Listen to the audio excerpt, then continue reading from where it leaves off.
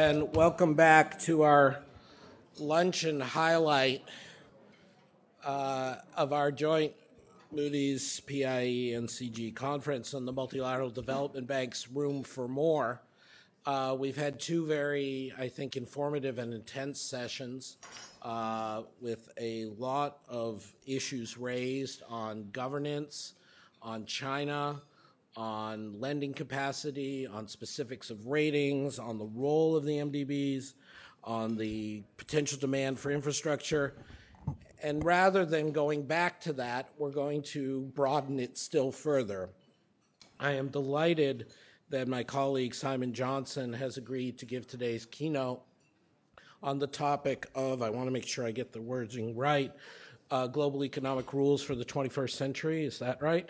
I knew the content, I just couldn't get the phrase right. Um, Simon Johnson, as all of you know, is a senior fellow here, but also, and in some sense primarily, of course, is the Ronald A. Kurtz Professor of Entrepreneurship at MIT Sloan School. Simon is one of the world's most cited economists and creative, particularly on the issues of development, but also more recently on financial regulation and justice issues related to that. Uh, Simon was Director of Research and Economic Counselor at the IMF, prior to joining the Institute. Since then, he has become something of a rock star with his uh, fantastic 13 Bankers, uh, written with James Kwak, and their subsequent book, White House Burning on the U.S. Fiscal Issues. Uh, he and James continue to put out the Baseline Scenario, one of the world's leading economic policy blogs, and Simon remains a very influential advisor in domestic debates um, including as a member of the FDIC Systemic Resolution Advisory Committee and uh, the Private Sector Systemic Risk Council, founded by former FDIC Chair Sheila Bair. Uh, he and I are together on the Congressional Budget Office's panel of economic advisors. And he, in addition, I don't know how he has time to do everything, but he does. He joined the Financial Research Advisory Committee of the U.S. Treasury's Office of Financial Research. I know from my colleagues and our mutual friends at MIT that he's an outstanding citizen and teacher there. He remains a very actively engaged and outstanding member of our community here. And he remains someone who is extremely articulate, forceful, and far-sighted in thinking about the global financial architecture, and now occasionally linking it to trade issues, as seen in his recent op-ed that we're featuring today on the website about U.S. leadership. So Simon is going to take our discussion of multilateral development banks and embed that in the broader debate over the U.S. role of China's rise in international governance. I am delighted to have him with us today, and then uh, Anne Van Praag, our colleague from Moody's, will chair the Q&A on the record following Simon's remarks. Simon, thank you very much.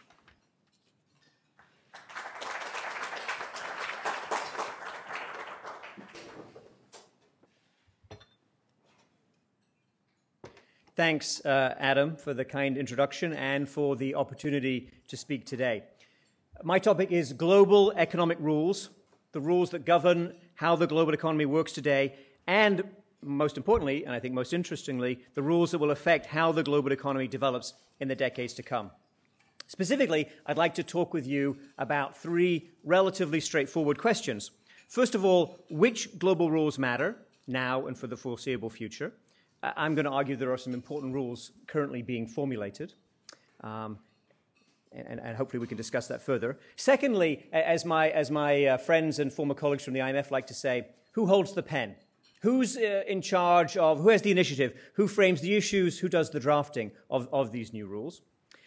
And, and thirdly, what exactly is the process through which these rules emerge? What should you be looking for? Is it some sort of big deal, a large conference or a series of conferences, or is it a much more um, uh, subtle and incremental uh, process? The main issue, though, I have to say that, that fascinates me is, is the one that uh, you've been grappling with uh, directly and indirectly all morning, which is U.S. leadership in the world and, and um, the effect of the rise of China on, on that leadership. Does the emergence of the uh, Asian Infrastructure Investment Bank, for example, challenge the United States? Does it mean that global leadership has perhaps already shifted away from the United States? Does the U.S. Uh, response or lack of response to the AIIB uh, represent a, a, bigger shift in, in global power that, that we should uh, be spending more time on. Now, I, I, think it is very hard or impossible to have any discussion um, of global rules without going back a little bit in history and, and talking, at least for, for a few minutes, about 1944 and the system that emerged after World War II. Now, I know you all know a great deal of history, so I'm going to be brief in, in this part um, of, my discussion. But I think there are um, a couple of points worth making, and I, and I want to come back to those by way of comparison later on. So, taking my, my three specific questions what were the global economic rules that mattered in 1944 as the end of World War II uh, approached? Well, I think we'll agree that the most important rules were about finance, uh, specifically about international finance, how you make payments between countries, what we now call current account convertibility and, and related issues, and also, of course, how it would be possible for a country to finance imports larger than exports, finance a current account deficit in a way that was sustainable, in a way that was fair, in a way that over time uh, they would not build up unsustainable debts. Now, the context for, for thinking of, of, those rules, of course, uh, was, was fairly obvious. Uh, Europe uh, and other countries needed to be rebuilt. This would require a great deal of, of capital. It would also require the ability to import uh, more than uh, exports for the foreseeable future. So, on what terms could devastated economies with uncertain prospects borrow? And, and of course, the backdrop to that was how could the world avoid a repeat of the debt default disasters and competitive devaluations experienced during the 1920s and 1930s? Who held, who held the pen in, in 1944? Well, it was the United States, I think, to, to a large degree. Not the United States alone, and not the United States unilaterally imposing its will on other countries. If you go back and, and, and, and look at how the ideas that became Bretton Woods, the Bretton Woods uh, conference, emerged, it was very much about a British US interaction. It started with a conversation about how to pay for British imports of, of war supplies, and it became a discussion about exactly how the international payment system would be structured subsequently. And I have to say that, that Anne has pointed out, I do still have a residual British accent. I'd forgotten all about it until she told me that. Uh, but I am an American, so uh, when I say we, I mean we Americans. And I, when I say the British, I mean those other people. Uh, the British put up a good fight, and, and Lord Keynes, of course, spent a, a, a, number of years, the last years of his life actually, fighting really hard to propose alternative arrangements in which the dollar would not be as central a feature of the payment system. But ultimately, the Americans got what they wanted an end to privileged trading arrangements within empires, or if you prefer a slightly more modern language, the establishment of the principle of non discrimination against American goods uh, in, in, Britain and throughout the British Empire, as well as obviously um, in, in, in, many other countries. This was the end of sterling as a, and, and, the end of the UK as a leading, the end of sterling as, as, a leading world currency and the replacement of the dollar, and it was also the, the end of, the, of, of Britain as, as um, in, in, its former role as, as a dominant uh, financial power. What was the process through which these roles emerged? It was, it was very big set piece uh, negotiations, uh, it culminating in the 1944 Bretton Woods conference. A lot of things had been worked out prior to that, of course, but Bretton Woods was very important. And, and Bretton Woods was certainly, at some level, an attempt to be inclusive. The Soviet Union, I, I would remind you, was at the Bretton Woods conference, and if you look at the original Articles of Agreement, there is an allocation of quota to the Soviet Union. They chose not to participate. They didn't decided that they didn't want to follow that route. Um, and, and countries subsequently could participate on, a, I would say, mostly a, a take it or leave it basis. You could join this club or not join the club. Over time, perhaps the rules have shifted, but, but not that much, uh, actually. Taken as a whole, this new set of global rules codified the rise of the United States as the predominant market economy in the world through acts of deliberate design and based on its unassailable position of the world's leading creditor, the US helped its allies back on their feet, and this made a major contribution to economic recovery and growth over the decades.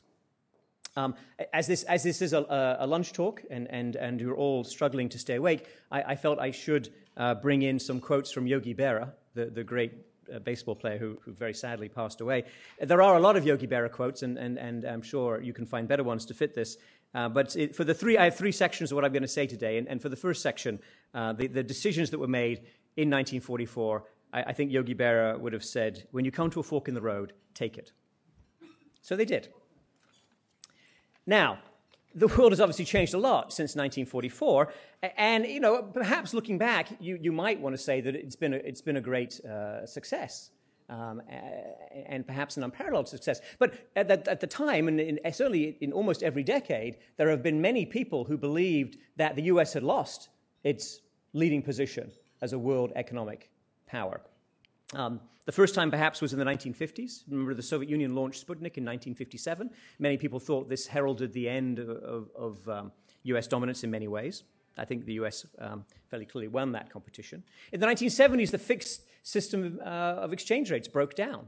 And, and, that was extremely traumatic, and people, I think with, with, with good reason, um, were convinced that this was the end of the dollar as the, as the center of the international payment system. It wasn't, actually.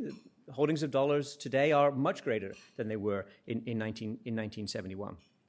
In the 1980s, Japan was widely regarded as being on the verge of overtaking the United States, in part because of superior manufacturing techniques, but also because they ran a persistent current account surplus and accumulated assets around the world. I, was a graduate student at MIT in the 1980s, and you could attend classes. I, I, didn't actually attend them, I only watched them through the window. But you could attend classes where I think you held hands and, and, and, and, and learned um, by holding hands. I don't quite know how that worked. Japanese manufacturing techniques like just in time delivery and so on.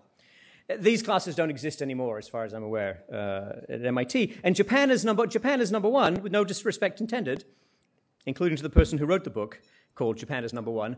Um, it, it's not now an idea that, that, that I think you would take very seriously. In the 1990s, uh, the launch of the euro was considered likely to propel Europe to, to greater global prominence. Today, the European, center, European economy is center stage. I'm reading these words carefully. I've thought about drafting them. The European economy is center stage, but not in a good way. I, I, don't mean to, to be obnoxious about this, but you can think about what's happened in Ireland, Portugal, Spain, Cyprus, or Greece repeatedly. Um, and while I'm sure that Europe will recover and Europe remains a very important part of the world economy, the idea of Europe, that Europe will displace the US in terms of global leadership seems like more of a stretch than it did uh, two decades ago. In recent years, of course, the discussion has been much more about China and, and the question of whether China can displace or take over some of the US role at the international level. Naturally, the discussion has changed a little bit in recent months away from uh, a focus on rising Chinese economic prowess towards ways in which the uh, potential disruptions in the Chinese stock market can affect US markets and, and the rest of the world. Now, China matters. Don't misunderstand me. And again, I'm, I'm not at all trying to be dis, uh, disrespectful, and I do think we should take elements of its economic policy seriously, including how the exchange rate, the renminbi, is managed. Um, my favorite book on, on China's potential for becoming a world power is Arvind Subramanian's book, Eclipse Living in the Shadow of China's Economic Dominance, which is a best selling Peterson Institute book published in 2011. They'll be happy to sell you one at the front desk if you don't already have one. Uh, the, the author, our very good friend Arvind Subramanian, is now chief economic advisor to the Indian government. And hopefully they, they are listening to his well crafted advice about how China grew through exports of manufactured goods and associated productivity improvements. China became integrated into global supply chains, producing things for companies elsewhere on a scale previously unimaginable. And Chinese managers learned how to make better products. And, and I, while, I'm, while I'm plugging Peterson Institute books, and as Nick Lardy is looking straight at me, you should also buy his book on the private sector in China. Uh, and don't believe me, believe the Economist survey that came out in mid September. I think that this is a fantastic and absolutely um, compelling story. But I, I don't think, uh, and, and, and, you can push back uh, after I'm done, but I really don't think China is now running or likely to soon run the, the, the world economy. And I don't think the Asian Infrastructure Investment Bank is a tool that will propel them to that dominant role. In 1944, perhaps it would have been a different discussion, but that, that world is, is long gone. The amount of private capital flowing to developing countries is, is much larger now, um, obviously, than it was in the 1940s. And, and the, um, the clout or the um, sway that you get from these multilateral development banks is consequentially considerably smaller. And I thought this was a nice point that came out in the, in the Moody's report. that the multilateral development bank lending matters a great deal for some, some countries that we should care about. It's a large part of GDP for some low to middle income countries. That's an important point. And I hadn't fully realized those details, so thank you for that in the report. But at the global level, is this a large amount of capital that really moves the political debates and, and, and helps to, to set the rules? Um, I don't think so.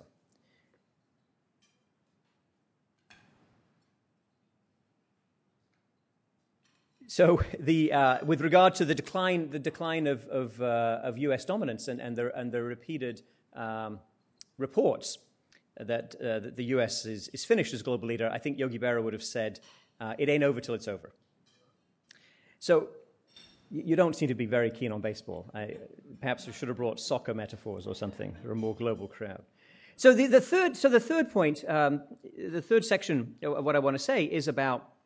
Um, the US and, and global rules today. What are the rules that matter for the world economy uh, looking forward? Um, and I think the, the interesting difference, to my mind, is if you look back at 1944, the US really needed other countries to get on board. Uh, now, global rules obviously work better when they're adopted by more countries, but the essence of the problem in 1944 was international payments. How countries would transact with each other at the sovereign level, how they would manage sovereign debts, and how sovereigns, creditor countries, would at the sovereign level contribute to various ways that other countries could borrow, hence the um, International Bank for Reconstruction and Development, the World Bank, and all of the successor organizations that were built on, on, on a, with, a, with, a, similar motivation. But I don't think that's the issue, uh, the issue today. The issue today, uh, the issue today is, or the issues today, I think, are, are, are threefold. Um, and they're all issues that fall very much uh, within the scope of action of the US government, the US authorities. Um, sometimes I have to uh, correct my uh, our foreign students and, and, and visiting executives um, when we, they talk about the American government. I don't think there is one American government. I think there's a number of them. But the American authorities have great sway o- o- over, the, over these uh, policies and over these rules. Before I get to that, though, just one point, and I think Adam had to step out, but um, you can tell him, Mark, that I agreed with him on this point, which is what, what we, what's the motivation? What, what, do, what do we want these r- rules for? How does our motivation today compare with 1944? I think it's very similar. Uh, Adam had a piece in The Economist recently debating whether or not the, we, we, still want growth at, at some big world level. And, and, there are arguments why you want to be careful about the, the, the, nature of growth and you want to worry about the sustainability of growth. But I think we want jobs in this country. We want jobs at decent wages. There are many people who want to be lifted up. And, and that has been a major contribution of the US to the world in the post war decades the ability of the US to grow and to have a market that, to which other people can have access and a market to which you can sell relatively easily. But here's three, set of, three rules, three sets of rules that matter a great deal, that are currently in flux, and that could potentially go, I think, um, either way in terms of being pro growth and in terms of being a helpful contribution um, to the nature, the inclusive nature of the, of the world economy. Uh, the first set of rules is about financial regulation. But this is not finance as in 1944. This is not cross border payments. This is about the rules for banks, the rules for financial intermediation. Um, and, you know, frankly, I think we got these very badly wrong in, in the run up to 2008, largely because we forgot the lessons from the Great Depression of the 1930s. Please, no one get defensive. I'm not trying to point a particular finger at anyone in particular. I'm not trying to play a blame game here. But after the 1930s, the, the US adopted the principle equal access to markets, of having a great deal of investor protection, and having a great deal of disclosure um, around uh, the way um, firms revealed information um, particularly um, to, to, to smaller investors. Strong capital markets, strong, fair, competitive capital markets were an essential part of the US post war growth. And that's not what we had in the early 2000s. That's not what mortgage backed securities were about. And it's not how consumers were treated, including people who borrowed um, to take out a mortgage on their home. The, the bigger picture there, which um, I've written about in, in, the book 13 Bankers with James Clark that Adam kindly mentioned. The bigger picture in our view is that starting in the 1930s, we deregulated many parts of the American economy. Some of that made a great deal of sense. But with regard to finance and financial services, deregulation went, went too far. There was a race to the bottom. For example, with regard to two issues I want to focus on, or at least mention. One is capital, and the second is consumer protection. On the side of, of capital, equity, how much loss absorbing equity do you have on your balance sheet? an issue that, that Moody's obviously uh, cares about a great deal um, when, they, when they look at, uh, at borrowers. It, it is a, a matter of, of, of, fact and of history that some of the largest brand name international banks ran their businesses in the 2000s with as little as 2% loss absorbing equity. So they had on their balance sheet, they had 98% debt and 2% equity. Well, if the value of your assets takes a hit, and I, I don't think you have to be much of a, a, a great uh, economic forecaster to um, anticipate such, such shocks in, in the future. 2% equity gets wiped out very, very easily. Uh, others, much stronger international banks that are now regarded as, as, as, as, as, as having been prescient, had 3% equity. Also, not very much by way of loss absorption capacity. The system of risk weights. Uh, you know, there's plenty of blame to go around, and I'm not trying to point the finger. But the system of risk weights, which was developed on an international basis as a, perhaps not quite a rule, but, but guidance and an attempt to have convergence in, in rules across banks, this system failed completely in, in the past decade, not just once on mortgage backed securities, but twice, where the second time would be European sovereign debt.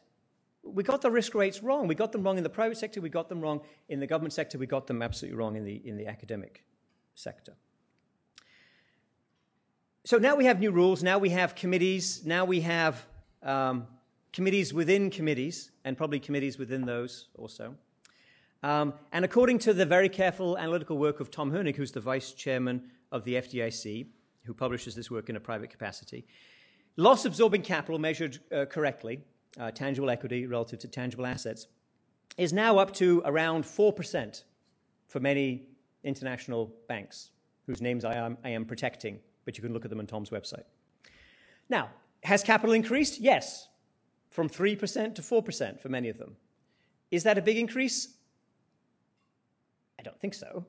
Um, I think that the, um, the right way to proceed, though, on, on, uh, going forward is what I hope the Federal Reserve is doing, which is to um, impose a steeper graduation of capital requirements and associated regulations so that the very large, uh, let's call them mega banks, which pose the greatest potential systemic risk to the system, face higher capital requirements, broadly construed. The regional banks in the United States, and we have a very vibrant regional banking sector, which has actually done remarkably well in the past five years, that they, they're, they're, say, between 50 billion and 500 billion in total assets or total risk exposures. Um, they're subject to uh, somewhat less by way of capital requirements. And community banks, below 50 billion or below 10 billion in total assets, um, are subject to even lower uh, capital requirements. The great thing about community banks, of course, is that they can fail. They do fail all the time. And when they fail, they do not bring down the economic system. So their shareholders and their management is very much on the line. That is, of course, not the case for, for the largest banks.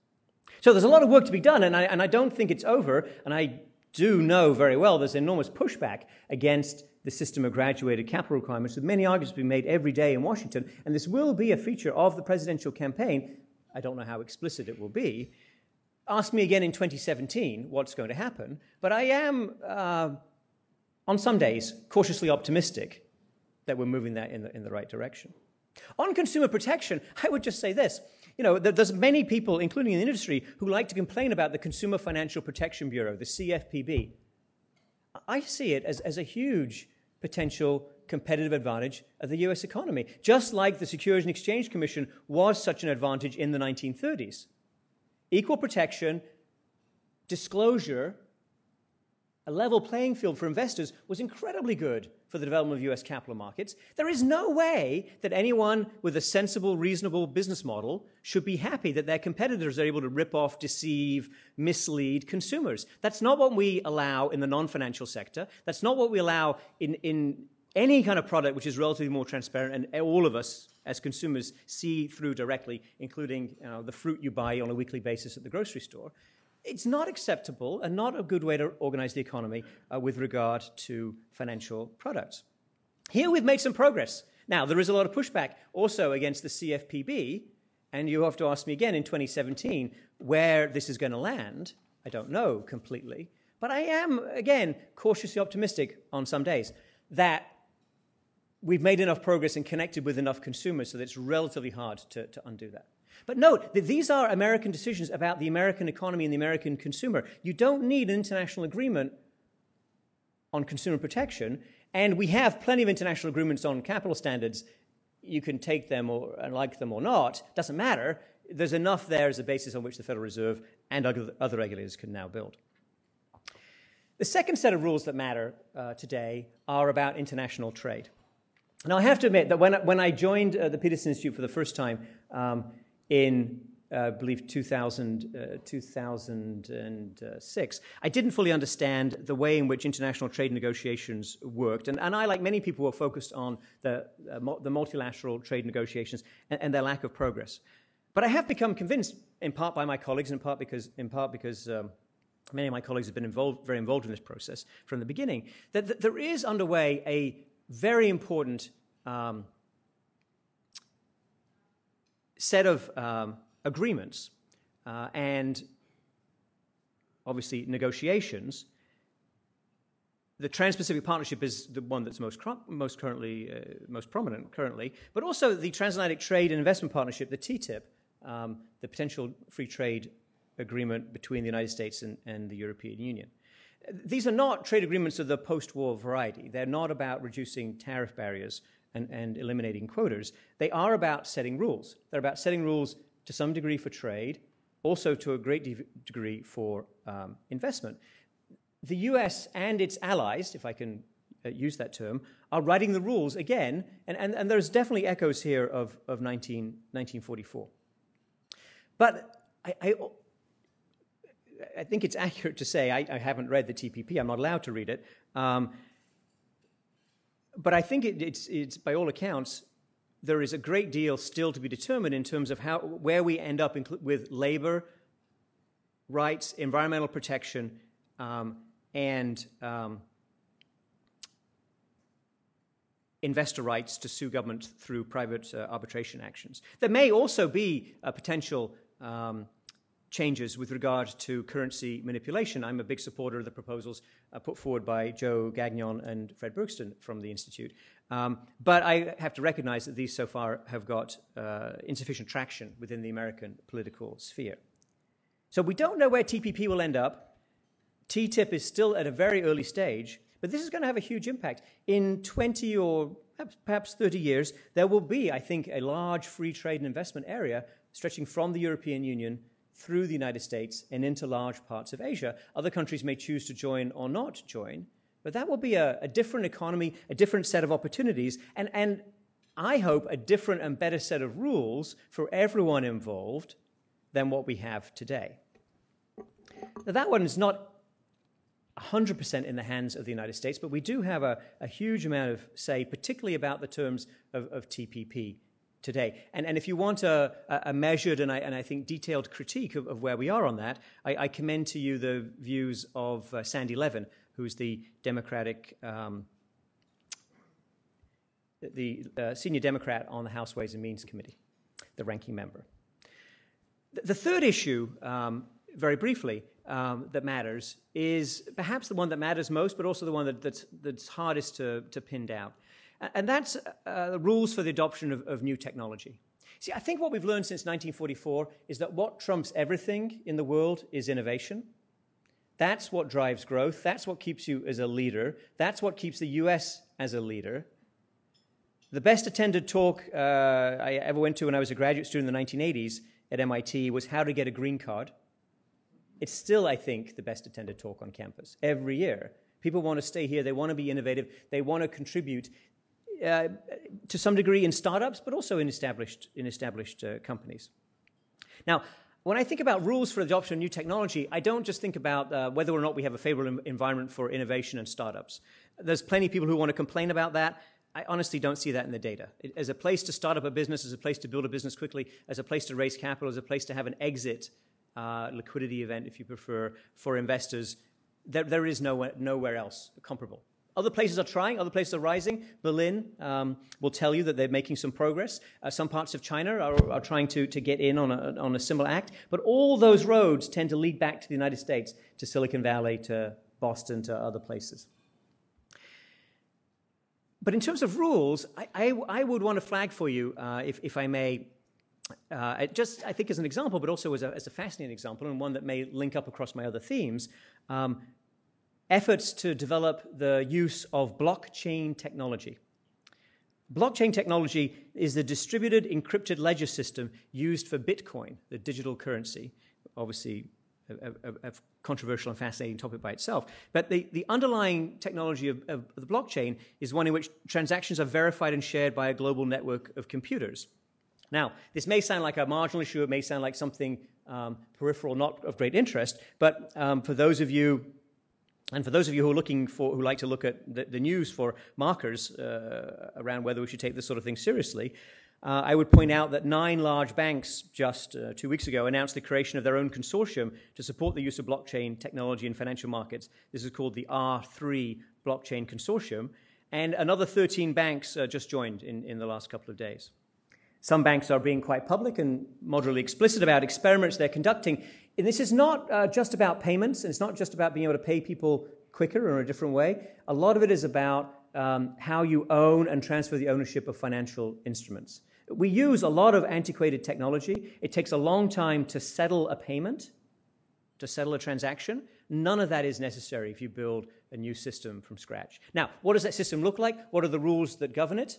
Uh, that's absolutely fascinating question. It's completely up in the air. I think the government will have less to do with this. It's much more a private sector issue. And, and there's an initiative at MIT uh, run by the um, MIT Media Lab, with which I'm, I'm, I'm somewhat connected, that is trying to um, ensure that the public interest, or at least some non commercial interests, are represented in that conversation. The parallel is to the internet. Now, the internet uh, you may or may not know how the internet works, but you use it all the time. In fact, many of you are using it right now instead of listening to me. I can see you at the back. It's the same thing with the blockchain technology. You, you don't know how that works, and you're not going to care. In five or ten years, you're going to be making payments, buying and selling real estate, transferring assets in fundamentally different ways. Better ways? Perhaps. Faster ways? Definitely.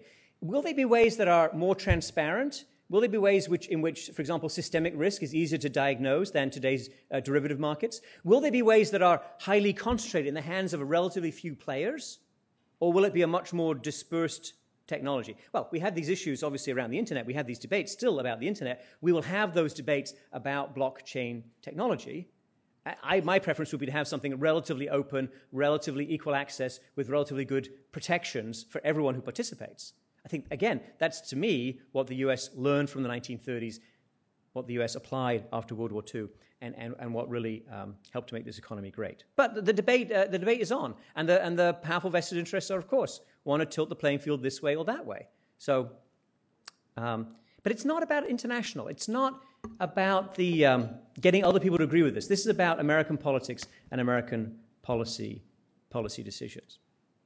So, in, in conclusion, um, does the US now challenge uh, the, the United States? Sorry, does China now challenge the United States? Well, look, China, some parts of the Chinese experience have served that country uh, very well and, and, serve as remarkable lessons to, to other people. And I, for one, welcome the Chinese uh, efforts to invest in other countries and, and to uh, establish or, or, comply with high standards of governance, as they said that, that, that they have.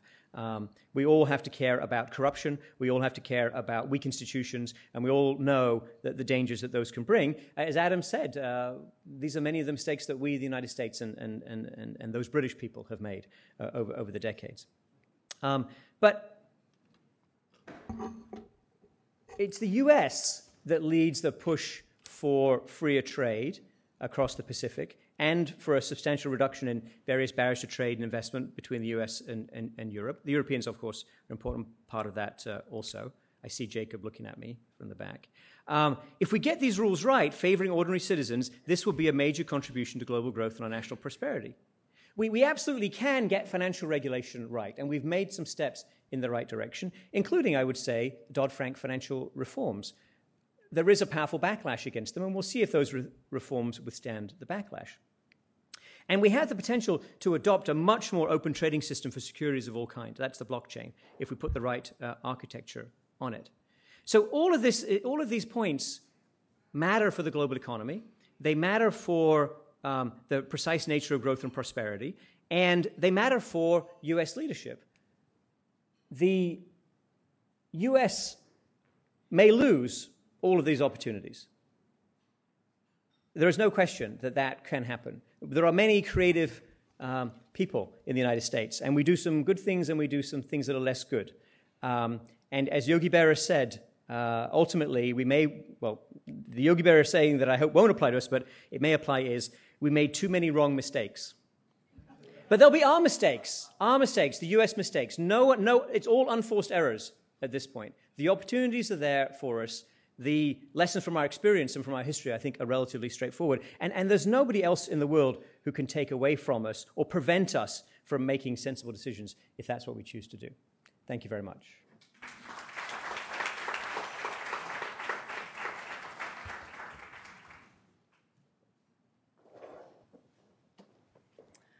Okay, thanks everyone for sticking around. We are going to have an on-the-record Q&A, so um, we'll get set up here on our stage, and uh, I think we have about 15 to 20 minutes for that, so we hope you stick around and ask questions.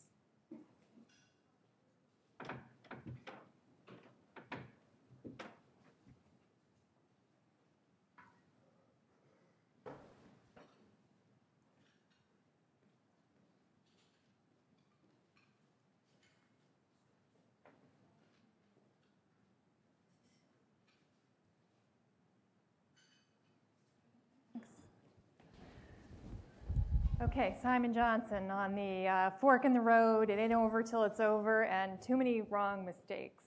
Um, thinking about US China relationships, uh, balance of power here, I, I think one interesting uh, question you ended your comments with kind of a scoring of how the US stacks up on these various measures.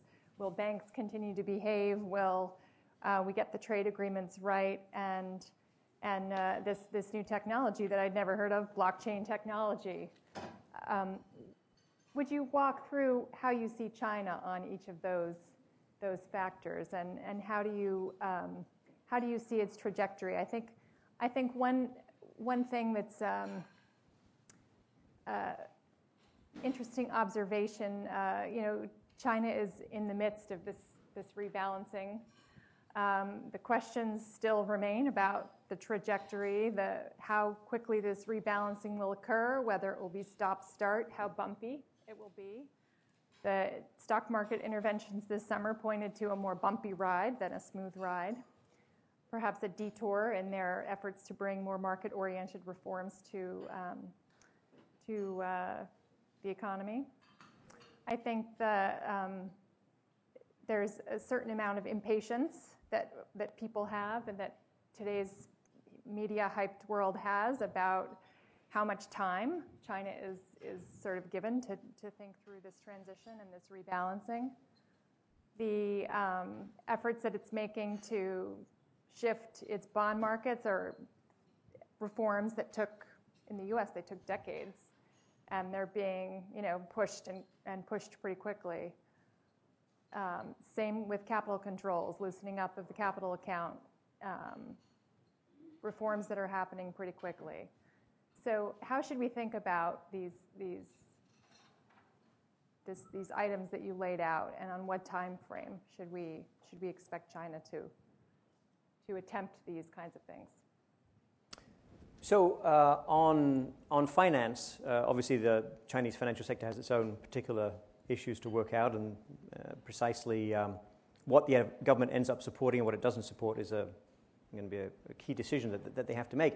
But the, the, the point that I'm trying to make is that the, in terms of the, um, strength of the global economy and strength of the US economy and our contribution, it's about how our financial institutions um, operate. It's about the rules that govern, for example, capital and, and consumer protection. And, and, there's not much China can do one way or another that affects our, our choices there. I hope they have a more stable system. I hope that they um, can sort out their, their problems without that causing uh, further uh, or any disruption to their growth. But that is a somewhat isolated, isolated decision. Now, on, on, terms of trade, of course, the big question that my um, global trade strategist friends here think about a lot is whether China would at some point choose to join the TPP, and what would that look like? Um, and I don't think we have any strong, certainly no definitive indications on that. Those of us who think that currency manipulation or language to discourage and as much as possible prevent currency manipulation should be part of the TPP, and, and we're not winning that argument, but those of us who, who still continue to argue that do so in part because we think that China, it's not just about China, but China um, has in the past uh, managed its currency in ways that were damaging to the global economy, damaging to the US in terms of the kinds of jobs that we lost. And, and that should be discouraged in the future. And by setting those rules in TPP, you're setting an expectation for the behavior of everyone who joins, including potentially China. Um, so we'll see if China chooses to go a different route and China chooses to build its own trade bloc, for example. I think, though, the TPP, particularly when you join the, the dots with the TTIP, becomes more compelling to more countries around the world. Um, on the blockchain technology, uh, it's, it's interesting uh, that uh, the Chinese uh, do participate in that. The Chinese um, have some significant firms that contribute computing power, um, which is a key point, key part of how this distributed network runs. But in terms of the debate and discussion about the structure of bl- blockchain and how it's used for financial markets, this seems to be a lot about the US right now. The UK is also present in that discussion. London would like to be a center for the development of this technology. Perhaps the Europeans um, will get in on that. I, I, don't think we've seen any definite signs of that yet. It is a technology that can have applications in many places, and it is a technology just like mobile phones that may confer some, if not advantage, some possibility to leapfrog. If you don't have fixed lines and you go straight to mobile phones, you can do things differently. So blockchain has substantial potential for impact in the development sphere also. But we, we don't yet see a, a, a Chinese um, influence over the structure of, that, of, the, of, those marketplaces. And how about um, banking regulation? How do you see um, things developing in China? Or you want to comment on the state of the banking system? We have enough visibility into that? no, I don't want to comment on the Chinese banking system. Um, you know, clearly, clearly, everybody who, who goes through any process of economic development has to establish resilient and robust regulation, and the, and the, and the center of that is capital and having enough loss-absorbing capital. And I cannot hold out the United States as an as a exemplary model for that in recent, in recent decades. Um, but the Chinese, the Chinese are figuring this out. Uh, you also have to under, you also have to figure out, and again, the U.S. had many problems with this and so the Europeans, you have to figure out what is supported by the government and what is not. So if a large bank fails today in the United States, who gets what kind of protection? Um, from the Federal Reserve or from the FDIC, who suffers what kind of losses. You obviously think about that a lot at, at Moody's, and you know that it's, it's very uh, complex and, and, and, evolving. The Chinese had to figure that out too. And, and it's only when you have stress situations and when um, there's political pressures to provide bailouts that you really understand what is going to be supported and what isn't. So uh, I'm optimistic ultimately they, they will make some progress on that, but it's still pretty early days. Okay. Um, well, let's open it up to our audience. We've had uh, a lot of interesting, thought provoking comments here from, from our friend. Um, perhaps people have questions at this point. Well, thank you very much. Um, I really liked your comparison between now and the 1940s. So as you were reviewing uh, the rule setting in the 1940s, uh, one of the things you mentioned is the U.S. was a major international creditor, and that no longer is the case today, uh, with China being one of the largest international creditors in the world, um, certainly one of the largest to the U.S., if, the, if not the largest. Uh, do you see that still being relevant at all, being a creditor, in terms of exercising influence? Well, be, being a creditor clearly matters for some things. So having a large amount of uh, net reserves, for example, matters. If China, think about the, the, how people would be discussing China today if China didn't have very much by way of reserves. In fact, there are people who are saying that the reserves they have are not sufficiently substantial. I'm, I'm, I'm not in that camp. So, so clearly, it affects your individual position as a country, and that then affects your role relative to the international discussion, relative to the IMF, and so on. What, what I don't think it does is confer the kind of advantage on the global level that the US had in 1944, where it was all a question of to whom will the US lend and on what basis. And that was what the World Bank was about, that was what the Marshall Plan was about. The IMF was um, of course, a little bit more an attempt to balance between the creditors and the debtors and provide some additional balance of payments lending under some relatively short-term circumstances. Um, but it was all, it was very, the world was very much about official credit and who was able to make credit and, and to, to, make a loan and who was more likely to have to borrow. I, I really don't think that official credit, either bilateral credit or the multilateral credit that's reviewed in the Moody's report under discussion today, um, or any new forms of official sovereign lending, the sovereign as, as, as, as the creditor, that that really makes so much difference or confers so much power. And, and obviously, there are many people who say that the you know, large uh, Chinese holding of US treasuries confers some sort of power over the US. I, I really don't see that. I, re- I, really don't, do not think that that is a, anything, anything like the, the, the kind of significance that uh, it had in, in the 1940s or in the 1950s, for example, um, at the time of the, the Suez Crisis, which is where uh, Arvind Subramanian begins his book, Eclipse. Back then, yes, official credit mattered a great deal. Uh, now, now much less. Um, thank you, Simon. Domenico Lombardi from CIGI. Uh, I also like the way you, um, you know, described the setting for the Bretton Woods conference at the time, how the U.S. played a uniquely proactive and inclusive role. I would also like to add that the intellectual leadership provided by the, U.S. official Harris White was kind of unique in, uh, recent financial history. Uh, however, at that time, we were in a world of um, essentially, um, you know, dominated by official flows. Right now, as you have implicitly reminded us, we are in a world dominated by private capital flows, as our friends from Moody's uh, know well. And uh, uh, clearly, we have essentially no international institutions that really have, um, you know, the power of coordinating initiatives in this realm. Indeed, it's only from the 2009 that the Financial Stability Board has been established and uh, initially was an entity non-entity with no legal personality. Now it has the status of a Swiss NGO. But one of the reasons for that is that you know, it's not a treaty organization because the U.S. Congress would never pass the treaty. Uh, likewise, you know, the U.S. was very inclusive at the Bretton Woods conference, but was all, at the time was the you know uniquely unchallenged superpower. Now it is still the leading power, uh, but clearly the world has become more multipolar. Indeed, indeed, this is why we have the G20 more than the G7 or the G1. Um, so, uh, you know, I would just uh, uh, like to have your reactions, your comments on this. It's a little bit of a chicken and egg problem because every every time we talk about the U.S. role in a global economic governance, we are then uh, confronted by these harsh realities. And in fact, this morning, Adam was reminding us of the difficulties to get the IMF uh, uh, governance reform package agreed by the G20 in 2010 uh, through US Congress to date. Thank you.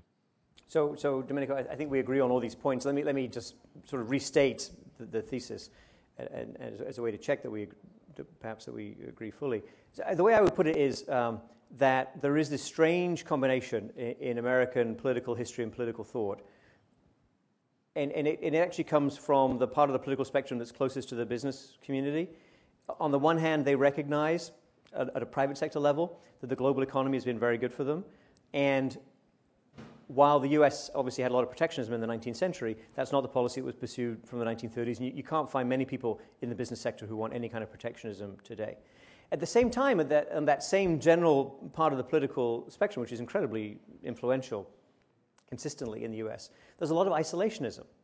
So 1944 was three years after 1941. There, there, were many people who didn't want to enter World War II, who wanted to keep the US back, and that was not an, an isolated or, or, or, single moment. There had been a, a lot of pressure and, and, a belief in the US as, as, as, needing to keep separate from European conflict for, since the beginning of the, of the Republic. So I think though those pressures are still with us, it's very disconcerting that Congress will not take up even these limited, modest IMF reforms that I think are a step in the right direction, but a small step, and don't deal with the deeper issues that you're talking about. But they won't do that. You know, t- to your point about the you know, lack of, you could say, lack of political foundation or lack of legitimacy or just weakness of the international institutions, I would say yes. That, I mean, that is the territory, and it's not going to change. You're not going to have another Bretton Woods conference. You're not going to have some big uh, recapitalization of the IMF or the creation of a new institution with more powers. What you are going to have is private capital flows. And those private capital flows are absolutely influenced by rules. And I'm suggesting that this is not a hopeless throw up your hand situation. The rules we make in the United States can have a lot of influence over how we are impacted and how, and our, how that affects the rest of the world. Now, how the Chinese run their financial system is, I have to say, their business completely. And, and they can either, you know, they'll learn some hard lessons just like, just like we hopefully have learned our hard lessons. Um, so I'm not trying to fix the world's problems, and I don't think an international treaty or attempting to move in that direction is, is particularly promising. But getting our own rules right, in, in the, in at least, and, and, maybe we could find more of those rules uh, to go through, that is, that is a very constructive um, opportunity. And it's one that the private sector should welcome too. I don't think anything I said is at all anti private sector. There are some particular vested interests who would not like, I don't know, consumer protection, for example. All right, we do have to get over that, and that is a big hurdle. But despite the odds, we have made some progress on that. So I, I don't think I can be too pessimistic. Let me pick up on one comment that you made, because I think you were, you were really trying to get at what are the new tools and what are the institutions and what are the factors that make the U.S. sort of in its position today and, and what does the future look like there.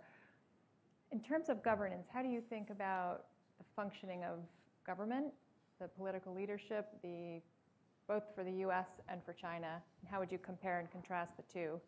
Um, it seems like you know this week in Washington we were almost faced with a shutdown. That seems to be behind us now. We were looking uh, a couple of months ahead to uh, several continuing resolutions and potentially uh, running out of extraordinary measures to deal with the debt limit.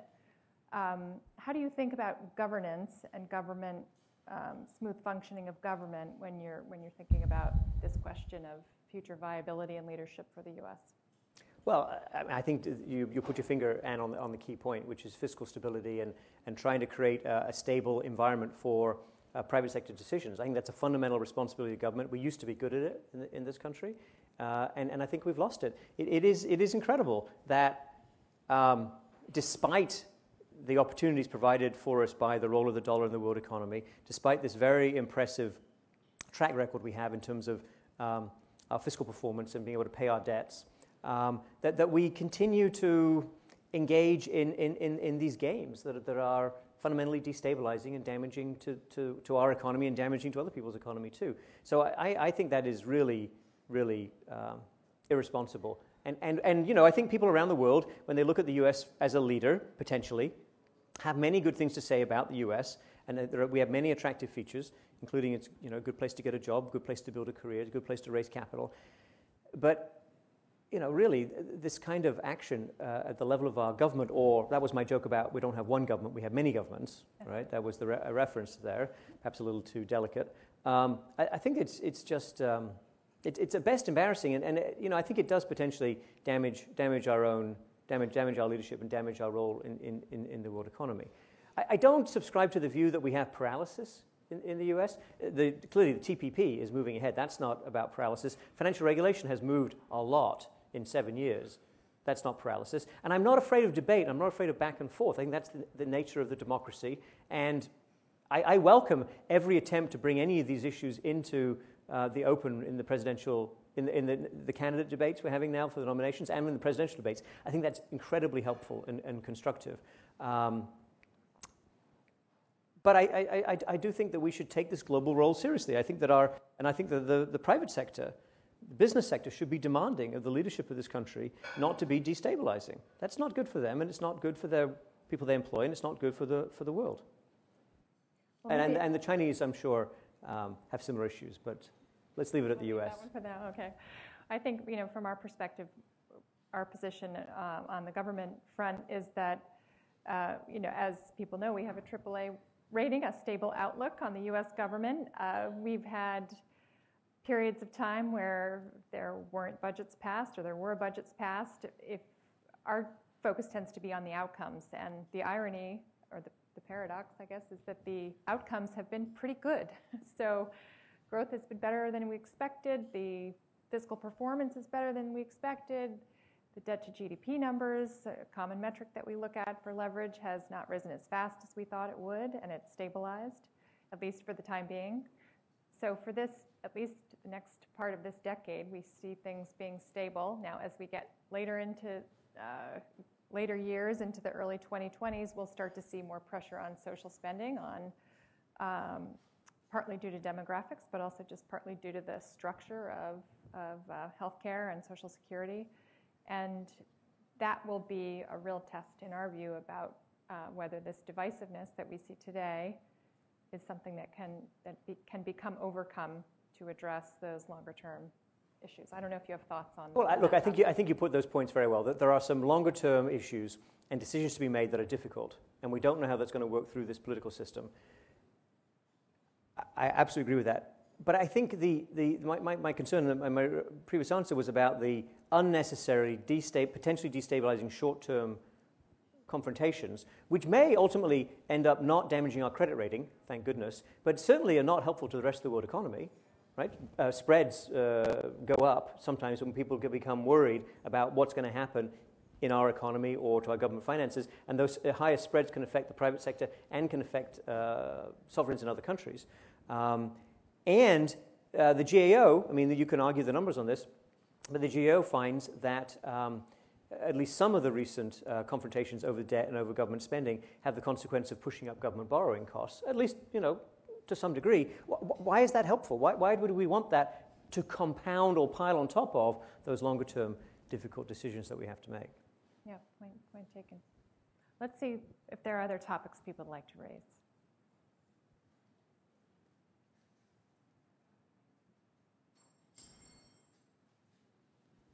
Yes, go ahead.